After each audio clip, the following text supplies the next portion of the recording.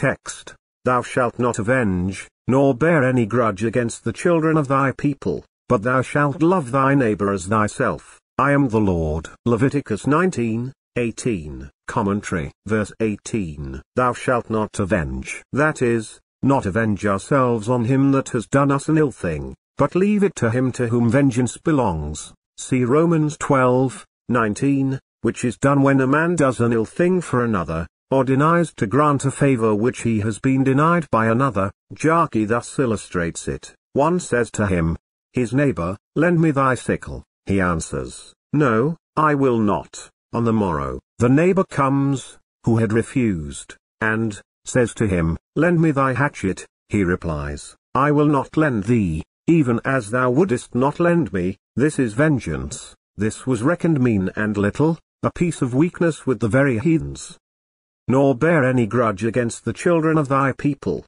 those of the same place, city, or kingdom, or not observe the injury done, take no notice of it, nor lay it up in the mind and memory, but forget it, or not keep or retain enmity, as the Targum of Jonathan supplies it, and so do an ill turn, or refuse to do a good one, or if that is done, yet upbraids with the former unkindness, for upbraiding with unkindness shows that a grudge is retained, though the suit is not denied.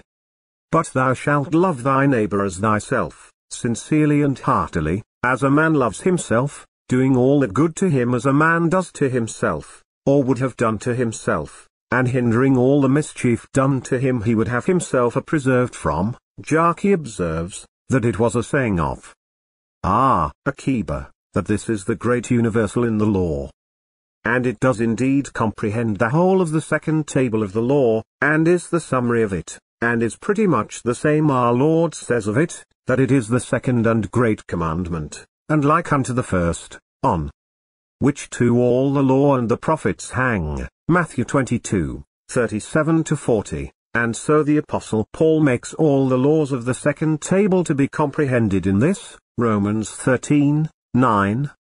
I am the Lord, the Creator of all men, and who has commanded them to love one another, and to whom alone vengeance belongs, and who expects obedience to the above laws of his.